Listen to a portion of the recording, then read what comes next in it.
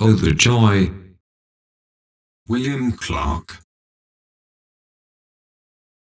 Their baskets are formed of cedar bark and bear grass so closely interwoven with the fingers that they are watertight without the aid of gum or rosin. Some of these are highly ornamented with strands of bear grass which they dye of several colors and interweave in a great variety of figures.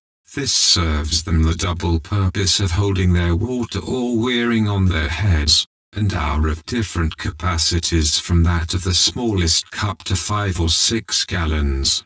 They are generally of a conic form or rather the segment of a cone of which the smaller end forms the base or bottom of the basket. These they make very expeditiously and dispose of for a mere trifle. Meriwether Lewis Chapter 1 Cape Dis. Fort Stevens was built on the southern lip of the Columbia River during the Civil War to provide strong points near the Canadian border, to strengthen American claims against the British on the opposite side.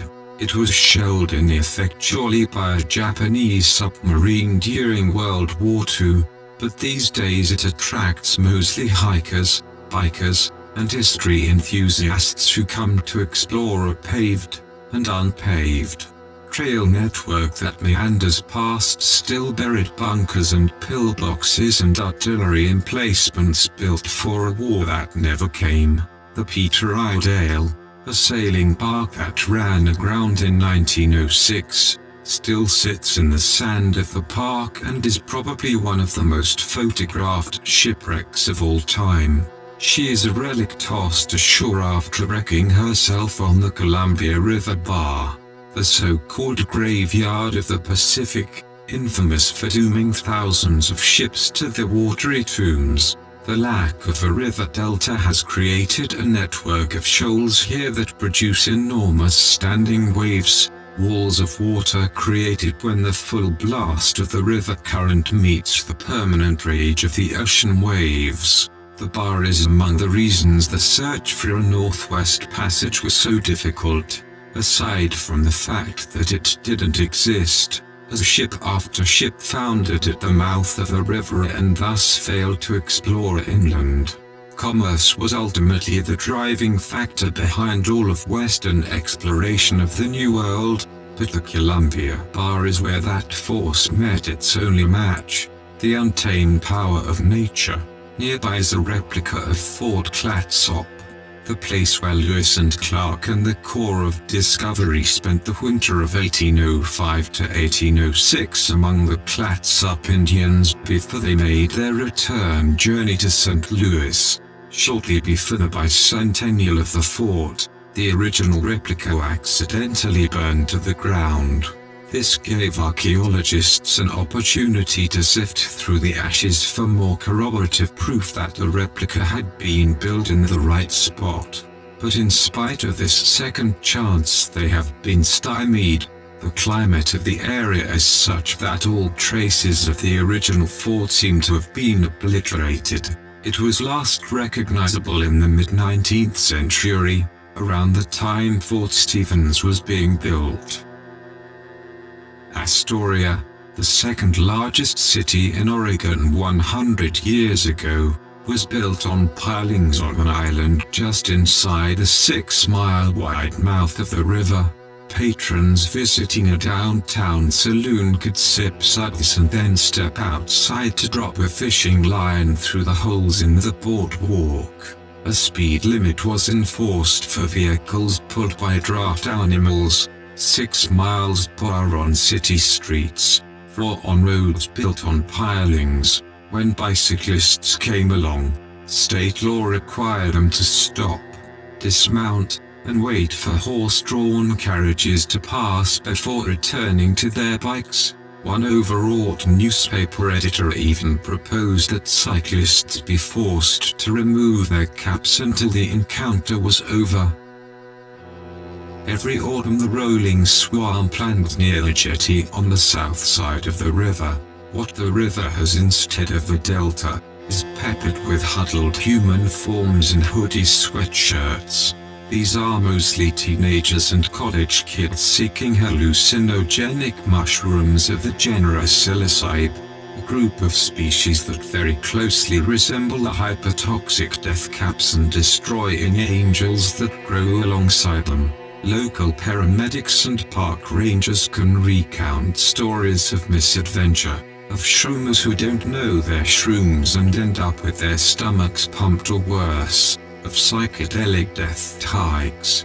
Even those who know what they are doing are often so paranoid that they shy away from vehicles, hide in bushes and so on. The dunes and swamps and tidal flats become points of fear and loathing, of potential doom. In dark clothing and with hoods pulled up they sometimes remind me of waves of immigrants from Mexico and points beyond, creeping and stumbling in single files across the Arizona desert, with jugs of water rather than paper or plastic collecting bags. There is the same atmosphere of weird apprehension and the same lack of good cover in the landscape. Silhouettes on a beach.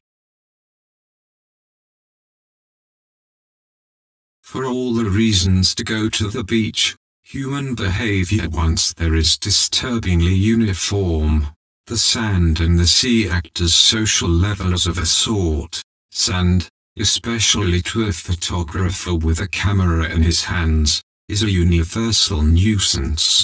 When wet it clings to all surfaces and is confoundingly skilled at invading the most hard-to-clean parts of a camera body or lens. When dry goes airborne in a stiff breeze to discover eyes, ears, exposed skin, and other sensitive places. But the real villain, or hero, depending on one's point of view, is the sneaker wave. These are relatively rare but statistically inevitable waves that can run considerably further up on a beach upon breaking than the average wave. Average, that is, for a given beach and a given set of conditions. They occur all the time regardless of tide level, but are especially pernicious on flat beaches at low tide. They tend to result when two or more waves become stacked and there is no outgoing wave to slow their combined progress. While sand is a danger to camera equipment, sneaker waves are deadly. Panic ripples through a cluster of human forms scattering from an oncoming sneaker wave. Those nearest skitter away without thought, while those on safer ground turn to watch, to cheer, to mock the little jump and instinctive flight of the about to be soaked, the shaking shoulders, involuntary giggling, and gestures of relief of those who make it, or the chagrin of wet shoes and pant legs of those who don't.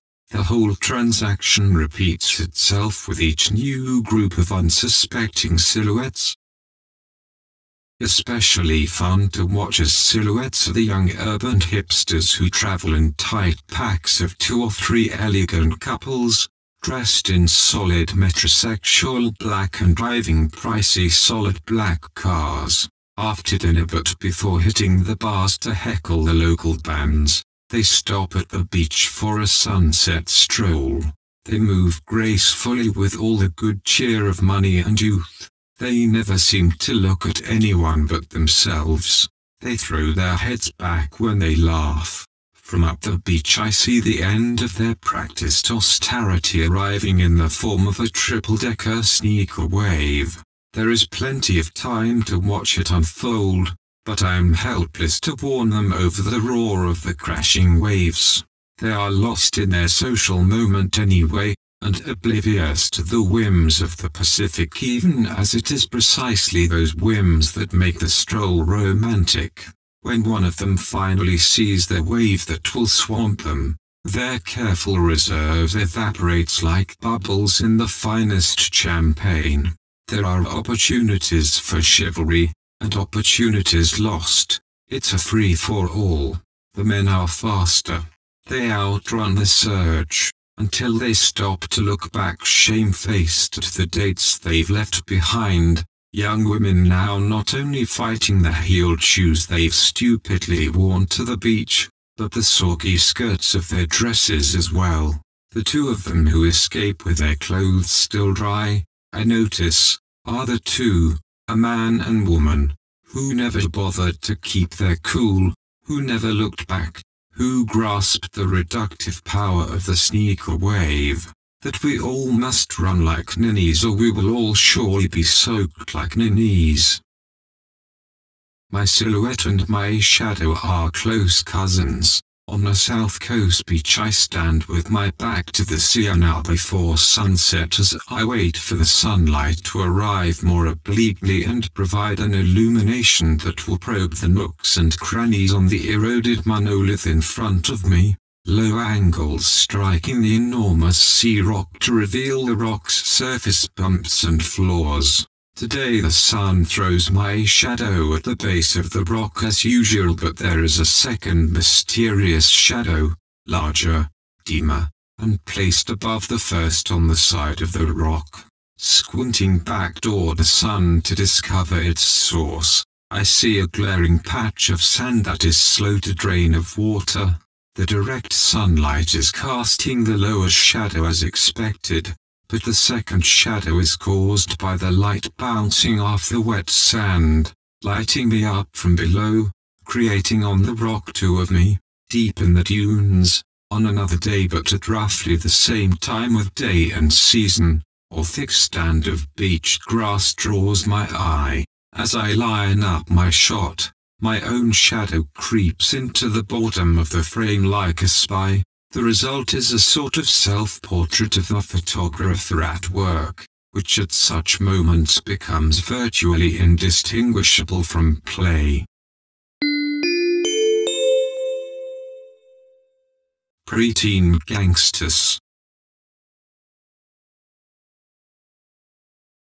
On the northern lip of the Columbia River, as a dry and hilly extension of the Columbia Bar itself, that implacable threat to generations of vessels, lies a piece of land that I liken to a mini Yellowstone for the abundance of light, life, history, and geophysical beauty to be found within its capes and swamps and coves and hollows. William Clark climbed to the top of this point of land and describes it like this in his journal, from this point I beheld the grandest and most pleasing prospects which my eyes ever surveyed, in my frowned boundless ocean, to the north and northeast the coast as far as my sight could be extended, the seas raging with immense wave and breaking with great force from the rocks of Cape Disappointment as far as I could see to the northwest. Here the land is overtaking the sea and claiming more space for itself. On the scale of decades, sand is swallowing the sea-battered rocks offshore and turning them into mountains by replacing the water with solid ground, new territory created by nothing but time, and the help of a nearby jetty, which is doing the grunt work. The English would have preferred that the US-Canada border be set at the Columbia, which would have made the bridge at Astoria an international border crossing today, and rather than merely being in Washington state, Cape Disappointment and the significant history that took place there would now be commemorated in a Canadian provincial or national park. Cape Disappointment, as ironically named a place as I know, at least as seen from land on a summer day, is the point at which Lewis and Clark, explorers of a continent, finally ran out of continent to explore. A tiny boardwalk at similarly confoundingly named Waikiki Beach, a small sheltered cove near the Columbia's North Jetty, illustrates the story of Lewis and Clark's expedition from St. Louis with careful recognition of the Indian tribes encountered along the way, and ends, appropriately, in the sands of the beach.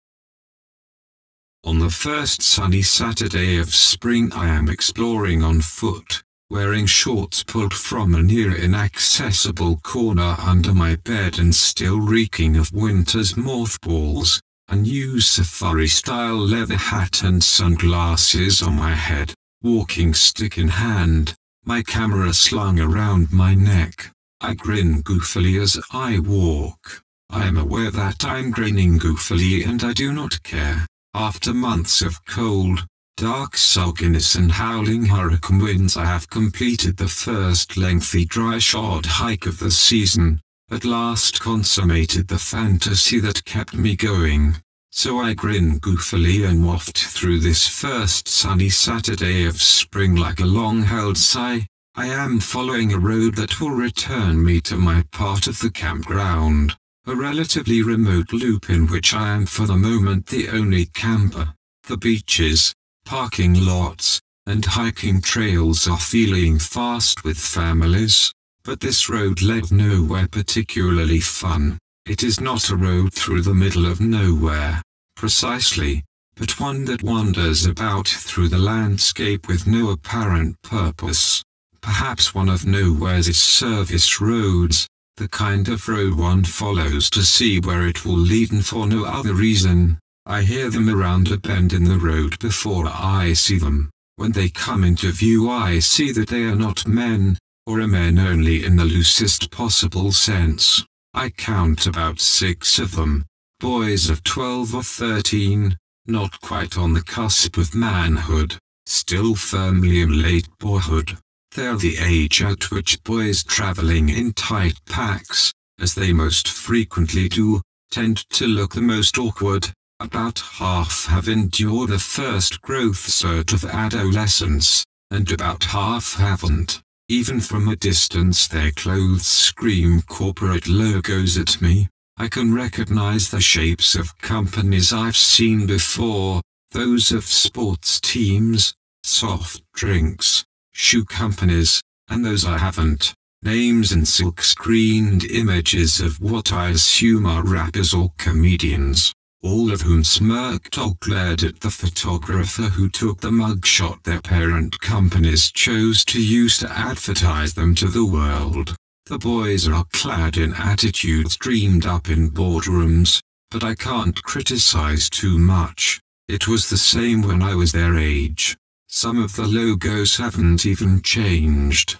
They carry themselves toward me down the road seemingly drunk on one such attitude an attitude they must have agreed upon prior to going for a walk so thoroughly does it penetrate their body language.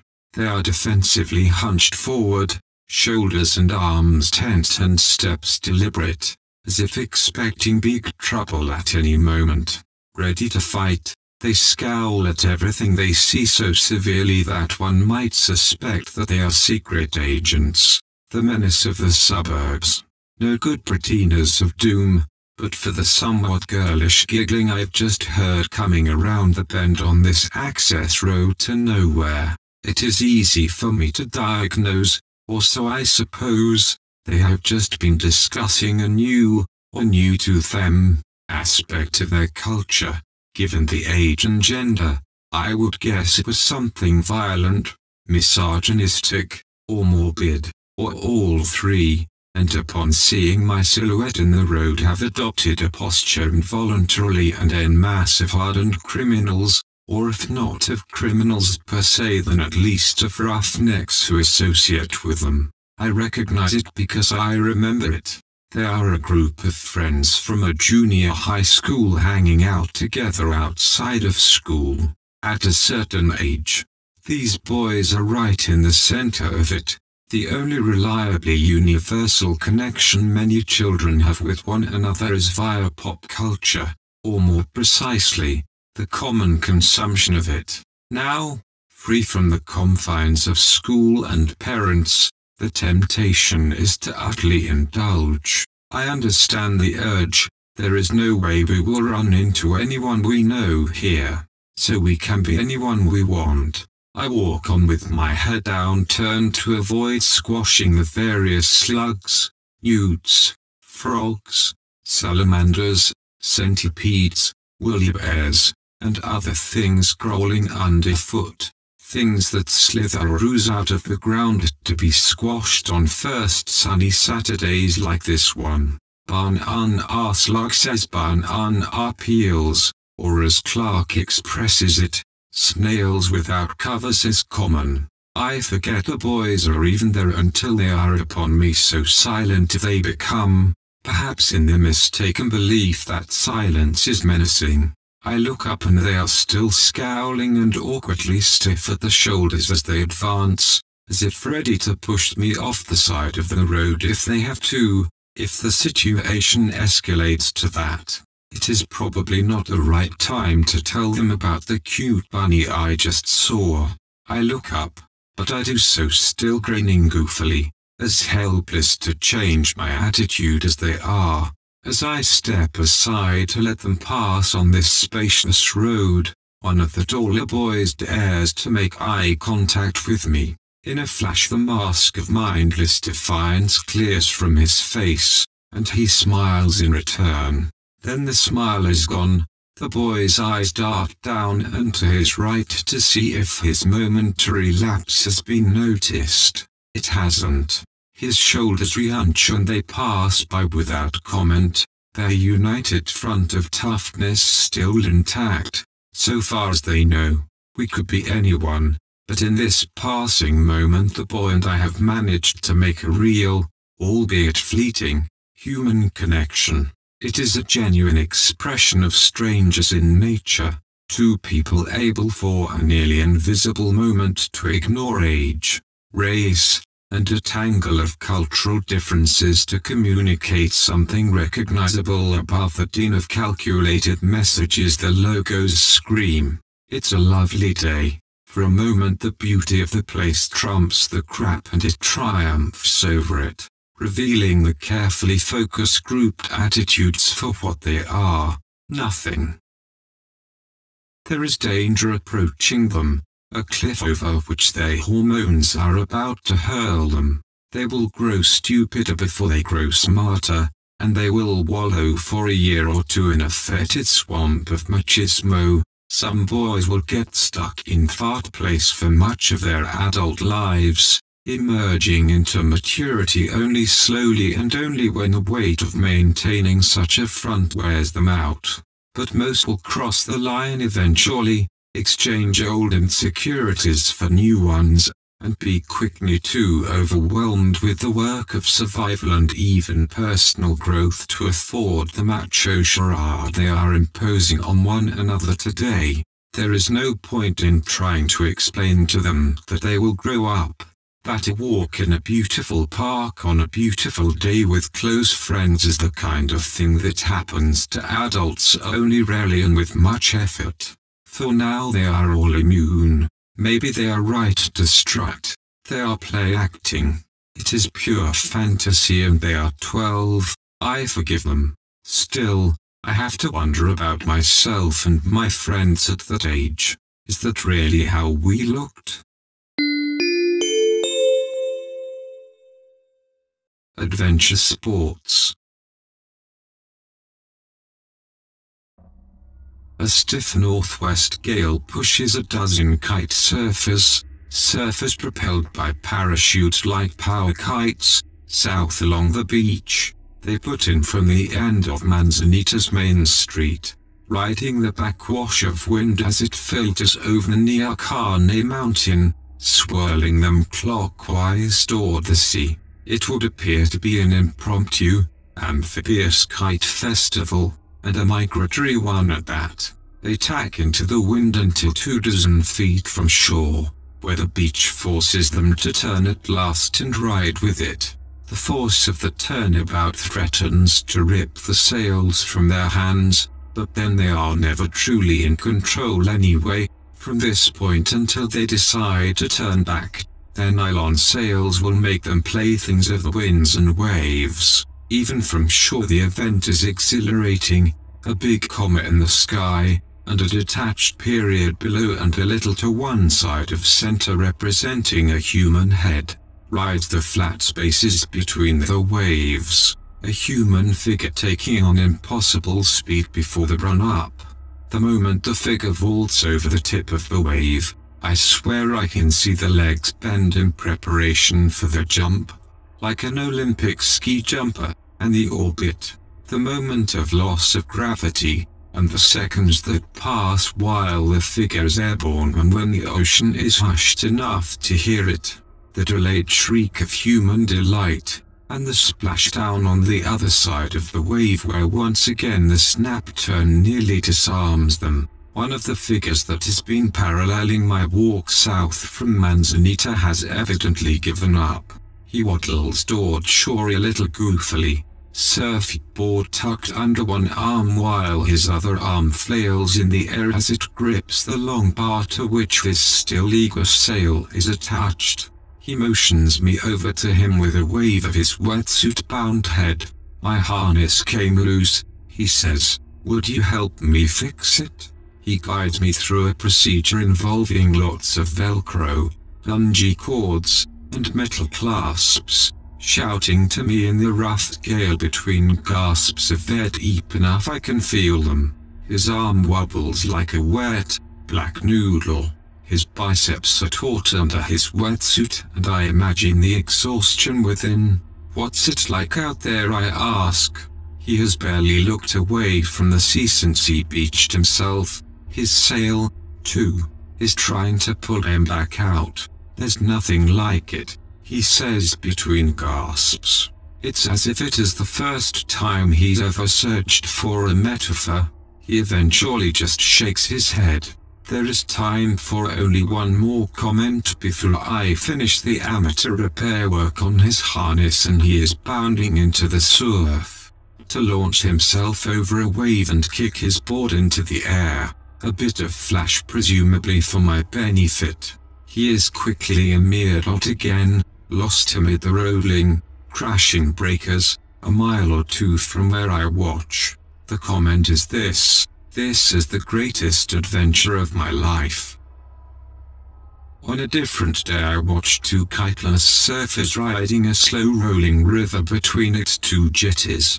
They catch the waves and ride them upriver, inland before sliding to a graceful crash and floating back out to sea. Ducking the incoming breakers, they get some extra rest on the return trip by floating with the river's current instead of paddling, to catch a new wave at the mouth of the river. The waves, coming directly in at a 90 degree angle, maintain their shapes and momentum unusually well in the center making for very long if somewhat slow rides. It is an odd sight to see men standing upright on the surface of a river, weirder somehow than watching the same thing at sea.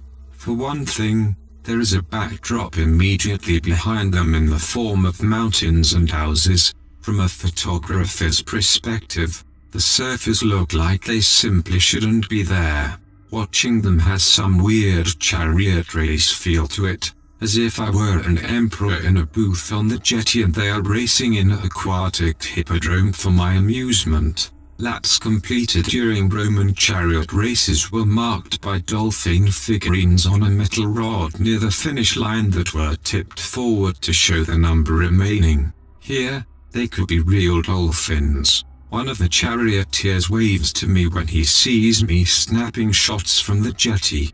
He makes two close passes on well-rounded waves as I fire off several shots, but they are a disappointment. The day is cloudy and while the jetty and distant mountains make for unexpected perspectives, the lumpy black rocks are visually uninspired, to say the least. The Oregon Beach Bill has its roots in a piece of legislation signed in 1913 by Governor Oswald West, for whom a North Coast State Park with a great surfing beach is named, and declaring all of the tidelands on the Oregon coast to be a public highway, because the beach was often the only feasible means of travel for people who lived there. The Coast Highway, what would become 101 was completed in 1932, but the beach was still a backup route kept relevant by the Mother Road's frequent mudslides and washouts. In the summer of 1966 a developer in Cannon Beach built a fence around the beach adjacent to his hotel in order to create a private beach for his guests. By the following summer the beach bill was signed into law, and all property within 16 vertical feet of the high tide line was declared public property. The speed of the legislation is due partly to a television news director, who used a photograph that had been doctored to show the Oregon beachscape as it would look cluttered with fences and the persuasive image swayed public opinion such that when the bill passed, it did so opposed by only three of 60 state representatives, along with a major effort by the Oregon Parks and Recreation Division in 1964 to create public access points at roughly every three miles along the 360-mile-long shoreline. The beach bill makes the entire expanse of the immediate coast available to everyone, for free. The law is fair and wise in a region eager for tourist dollars. A man in a wetsuit pulls a child behind him through the surf on a small e-board, back and forth about 20 times at high speed. At a point when the action pauses for a few seconds, the child crawls off and begins walking up the beach to his mother without a word of thanks. The bewetsuited man, hoe dangling sadly from the back of his neck, walks forlornly away after a stunned pause, pulling the board behind him, now emptied. I watch three people plant a flag in the beach, number 9, and make a circle around it in the sand, with sand wedges, they pick what seems an arbitrary point and play the enormous sand trap according to the laws of real golf, marking balls, obeying the rules of honor. I watch one man waggle for about 60 seconds, never once allowing the head of the club to touch the sand, before topping his ball about 20 feet, rolling. I sympathize. When they are finished, they pick another arbitrary point and begin again to play hole number 9, a whole new way, whichever way they want. Disc golf is popular in the Pacific Northwest, too. If golf is a good walk spoiled, then disc golf is a nature hike gone horribly awry. The courses are just like real golf courses, but instead of greens and cups there is a basket waiting at the end of each hole and the goal is to throw a frisbee-like disc into the basket under par. The sport is as absurd as it sounds, and that's a good thing. Anyone with a vacant field could build a disc golf course. Since the ground itself isn't much involved there is no need to maintain anything but the baskets, which are nothing but hoops on posts with loose chains dangling from them which help to catch the disc if a shot is on target, like the crash net on an aircraft carrier. Another popular preoccupation is geocaching, that is, the caching of objects in various geographical locations. Participants follow GPS coordinates and other clues to locate widely scattered boxes in which the items are stored and usually sign a book and add or remove an item in the box, to let others know they were there. There is no point, really, but the idea is that as long as you are in the area anyway, you may as well be looking for something. The boxes are often hidden in the crotches of tree limbs or between rocks or underneath trail bridges, hidden in plain sight like Easter eggs. Monkey Puzzle Tree On a soggy February morning I get a phone call from my sister to tell me her father has passed away. My brother called the night before to prepare me. Our father has been sick for several months. 10 or 15 minutes later a park ranger knocks on my trailer door. Someone has reserved my campsite for this evening and I will have to move. This kind of thing happens sometimes if one travels full time.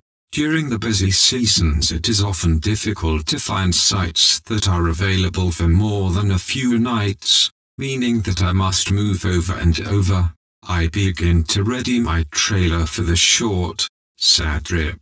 I won't be leaving the campground but moving a rig as large as mine any distance at all requires the same amount of unavoidable work. Disconnecting cables and stuffing furniture and tarps and awnings into basement compartments, hitching and rehitching the trailer and deploying the screen room for the cats, fighting with slide outs that have been broken since Tennessee and still require manual operation with a hand crank, the overhead of travel.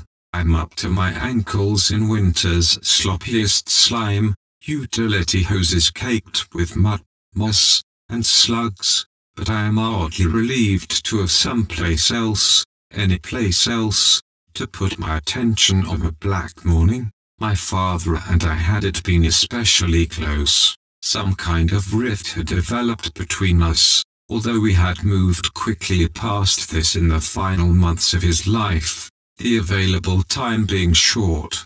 I got to see him a last time, my one and only airplane trip during my years of travel, two weeks before he died, two weeks today. My father was a spectacular gardener all his life. He excavated koi ponds and nurtured ferns in cypress swamps, raised gazebos in beds of exotic flowers. He appreciated beauty, but he also had an active scientific curiosity befitting a surgeon. He collected and planted exotic species from around the world and concocted hybridization and grafting schemes, melding two apple varieties together, for instance, or grafting two entirely different species, or trimming yew shrubs to look like ducks. I think many of these experiments were performed merely to see how the plants would react. Mixed with these or consigned to a garden of their own were the vegetables. He weeded and fertilized religiously, sprayed for bugs, exulted over basketball-sized rutabagas. I don't think it was ever an issue of competition for him. In fact, I think the opposite. It was exactly the non-competitive nature of nature that appealed to my father, that one must take what he finds sometimes, and, after countless setbacks, disasters and triumphs, droughts, floods, infestations and simple accidents, that nature always randomizes her bounties on whims. My father dabbled in photography, but had largely given it up by the time I was born. The proof is in the pictures.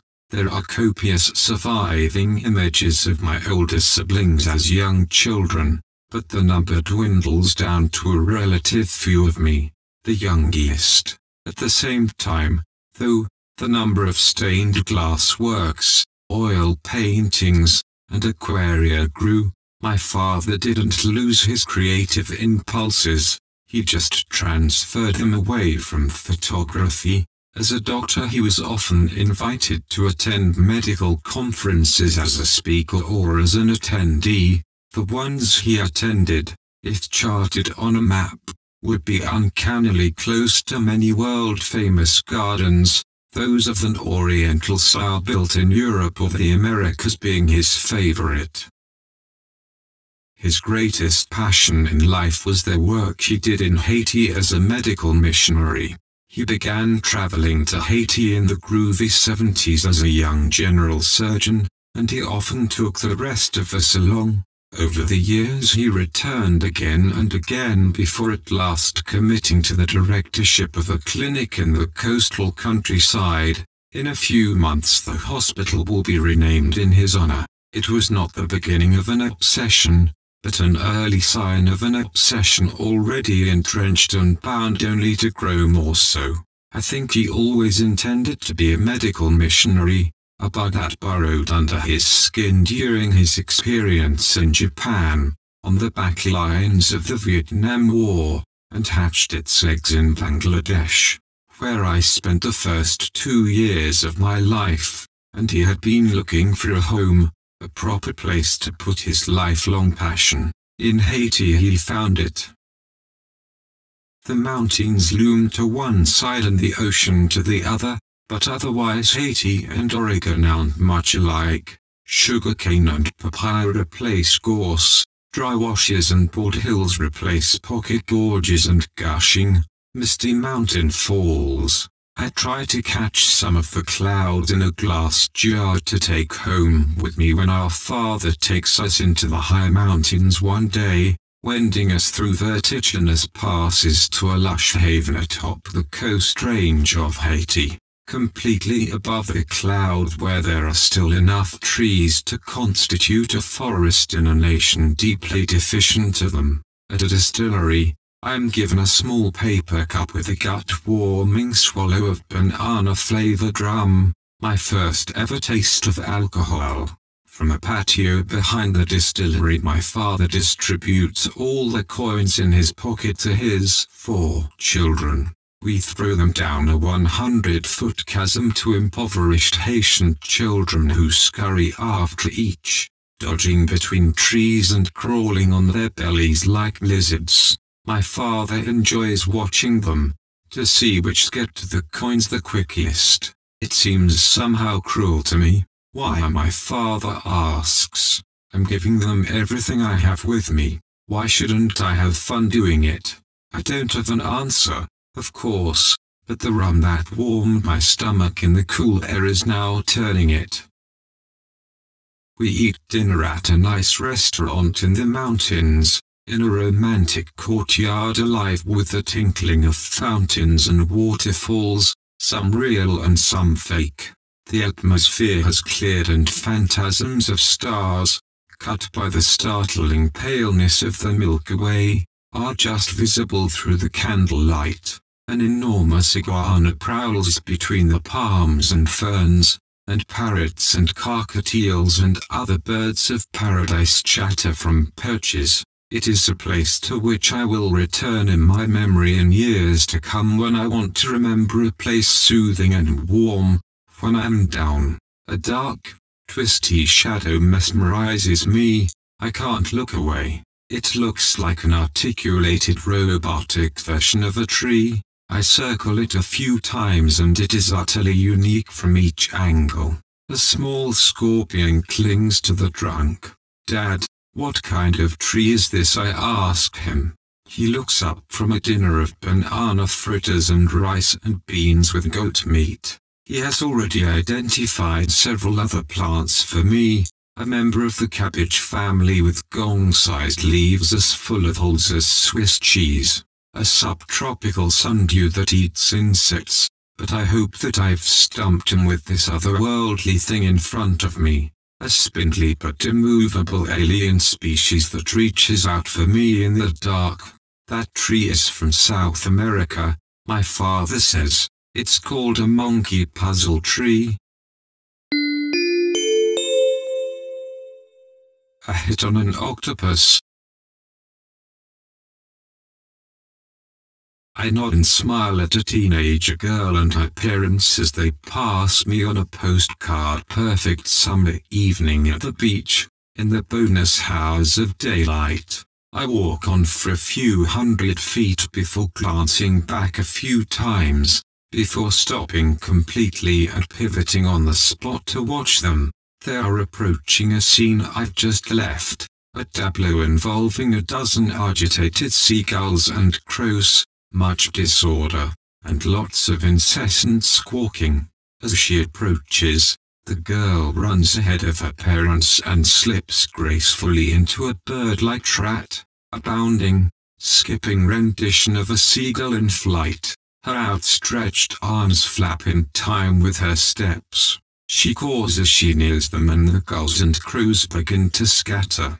The birds are drawn by the gory remains of an exceedingly deceased octopus, far from the most comprehensible creature while alive and in the sea. An octopus dead and on land becomes an awkward puddle of miscellaneous innards, tentacles, and assorted octo stuff, and a spectacle usually reserved for nightmares after the crows and gulls have spent half a day pulling sinewy globs free, feasting on what's left, helping it decompose, watching the girl's carefree approach from my point up the beach, then, is like watching a prophecy unfold.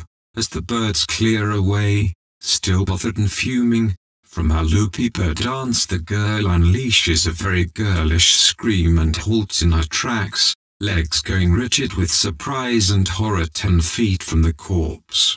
She covers her mouth with her hands. What is it? Her mother asks her. It's an octopus, she yells back. A what? An octopus. I keep walking. A few moments later I look back one last time, to see the acts of consolation and the explanations about the cycles of life in the sea and the inherent cruelty of nature. Instead, the father holds a camera to his eye, shooting down at the scene while his daughter leans into the shot from above, mugging toward the camera, flashing gang signs and smirking as if she were responsible, as if she had made the hit. I will never see the resulting image, but I have seen the moment itself, which is a very different thing.